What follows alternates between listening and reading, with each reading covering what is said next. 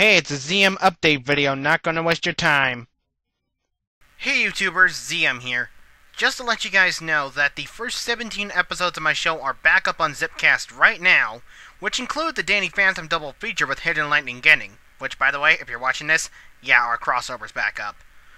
Also, I'm going to repeat something I said in my Zippcast update video, where I'm taking down episode 18, which is the movie War Core review, for revision and remaking. It is going to come back this year, I promise that. Probably as maybe an October episode. Who knows?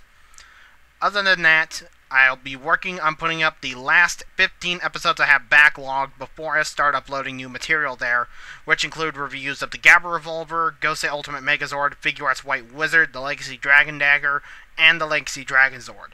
So those are more teasers for the Zippcast channel, and I will be using YouTube to keep you guys in the loop about everything. Also, to let you guys know, my birthday is in two weeks on August 4th. Other than that, I'll catch you guys at the next video. Laters!